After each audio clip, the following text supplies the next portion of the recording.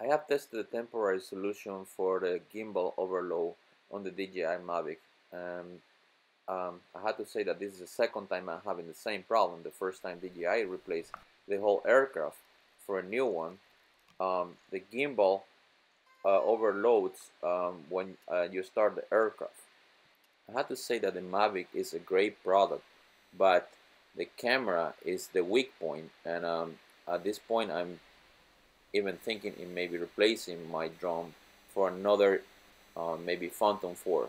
since for me it's not really reliable.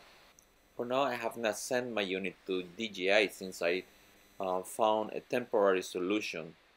Um, the solution is to tilt the aircraft to the right at startup. That seems to solve the overload problem and so far I've been flying my Mavic for a month I have found no issues flying it like this now uh, this is the way I do it. Tilt it to the right and this way the camera will start normally with no overloads